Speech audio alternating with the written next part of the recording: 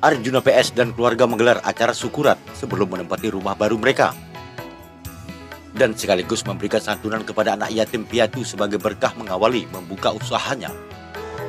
Adapun acara tersebut dilaksanakan di kediaman rumah barunya yang berada di Jalan Lintas Riau, Sumatera Kepulauan Bahtera Makmur, Kecamatan Bagan Senembah, Kabupaten Rokan Hilir, Provinsi Riau pada Selasa 19 Juli 2022. Sebagai MC dalam acara tersebut dipandu oleh Ustadz Udin Arhab, tampak juga dihadiri oleh keluarga besar Arjuna PS serta Ketua Pujakusuma Rokan Hilir Mukdi PR dan jajarannya. Dan tak ketinggalan juga tampak dihadiri Wakil Ketua Satu Majelis Pimpinan Cabang Pemuda Pancasila Rokan Hilir, Eri Samsuar. Wakil Ketua Tiga Ria, Setiawan Nasution, Sri Kandi Pemuda Pancasila. Juga dihadiri Ketua Majelis Ulama Indonesia Bagan Selembah, Dr. Randus Ahmad Yani, tokoh masyarakat, tokoh agama, dan sejumlah ketua serta anggota perwiritan di lingkungan sekitar tempat tinggal Arjuna dan juga tamu undangan lainnya. Acara dimulai pada pukul 13 siang sebelum rangkaian acara syukuran dimulai, kegiatan tersebut diisi dengan tausiah oleh Ketua Majelis Ulama Indonesia Bagan Senembah Dr. Randus Ahmad Yani. Yang pertama, sebagaimana Allah katakan, lain syakartum la ajidannakum wa lain kafartum inna adzabil syadid. Jika kamu mau mensyukuri nikmat Allah, Allah akan tambah lagi nikmat itu lebih banyak lagi. Oleh karena itu kepada Bapak Saburuda, Bapak Arjuna PS keluarga, maka syukurilah, syukurilah apa-apa yang sudah diberikan Allah. Insya Allah nikmat Allah akan ditambah lebih banyak lagi. Jadi syukuri itu yang paling utama. Ya berterima kasih kalau sesama manusia pada Allah kita bersyukuran bersyukur kepada Allah dengan nikmat yang diberikan. Itu yang pertama.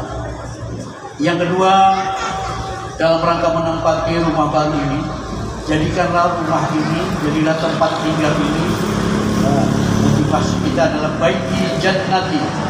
Jadikan rumahku adalah surga di sinilah kita berbahagia di sinilah kita bercengkrama dengan keluarga. Di rumah inilah kita bisa menjalin silaturahmi sebagaimana yang dilaksanakan pada saat itu oleh karena itu dengan melaksanakan motivasi agar rumah kita ini menjadi surgaku maka jadikanlah rumah ini satu tempat usaha yang kedua tempat bersilaturahmi berkeluarga yang ketiga jadikan juga rumah ini menjadi tempat ibadah. Ya jadi kalau ingin rumah itu menjadi surga ibadah bagi keluarga maka jadikan pula tempat tinggal kita ini tempat kita beribadah. Situ ada kita melaksanakan juga ibadah sholat berzikir Juga kita melaksanakan membaca Al-Quran dan sebagainya. Itulah dulu pesan kami kepada keluarga Suabul Huda, Bapak Arjuna PS. Kami mengucapkan tahniah, ya, mengucapkan turut bergembira dengan tempatnya rumah baru ini, tempat tinggal ini dalam rangka juga untuk usaha. Kami doakan, mudah-mudahan kiranya usaha yang juga nanti akan dilanjutkan oleh Bapak Arjuna beserta keluarga di rumah ini mendapatkan rizki dari Allah Subhanahu wa taala. Yang berkah amin. Ya rabbal alamin. Wabillahi taufiq wal hidayah. Wassalamualaikum warahmatullahi wabarakatuh. Selanjutnya pembacaan doa yang dipimpin oleh Ustadz Abdul Muhaimin. Sebagai rangkaian acara penutup menyantuni anak yatim piatu dan kaum duafa dipandu oleh Ruswan yaitu dari Gelora dulu. Yang pertama Ananda Diva agak kiranya maju. Hmm, Diva. Terus kemudian Dede Irfansyah.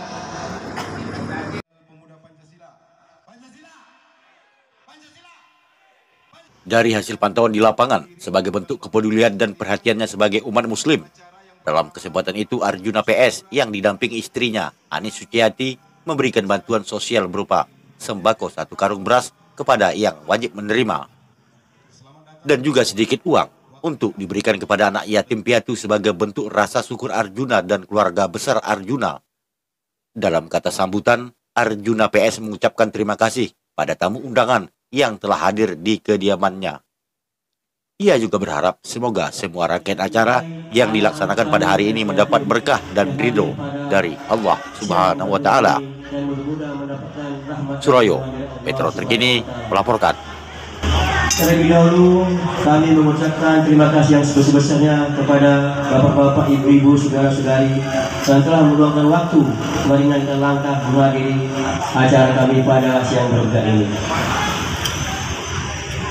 Dan juga kami mengharapkan kepada lingkungan kami di lingkungan RT 06 dan 07 dan juga perwitan usaha muda kami mengharapkan supaya kami dapat diterima di lingkungan yang baru ini sebagai warga daripada bapak-bapak dan ibu-ibu yang berada di Kelurahan Batra Makmur ini. Inilah harapan kami dan mudah-mudahan bisa terjalinnya silaturahmi antar kita di lingkungan Batra Makmur ini dan juga bisa bersinergi dan bisa kita memajukan khususnya kelurahan kita ini RT 06 dan RT 07 ini. Inilah harapan kami dan kami juga mengucapkan terima kasih kepada rekan-rekan saudara-saudara kami yang telah sudi kira membantu kami dalam melaksanakan acara pada siang hari ini. Dan mudah-mudahan atas kehadiran Bapak-Bapak dan Ibu dan kerelaan Ibu dalam Bapak Ibu dalam membantu kami keluar menjadi amal ibadah bagi kita semua. Hanya inilah yang dapat kami sampaikan dan kami berharap mudah-mudahan kami di tempat yang baru ini dapat diterima dan bisa lebih baik menjalani kehidupan dari yang sebelumnya. Kami berharap mari sama-sama kita menatap ke depan, anggaplah yang belakang menjadi pelajaran bagi kita untuk yang akan datang. Saya rasa ini yang dapat disampaikan. Wabillahi taufiq Assalamualaikum warahmatullahi wabarakatuh. Waalaikumsalam warahmatullahi wabarakatuh.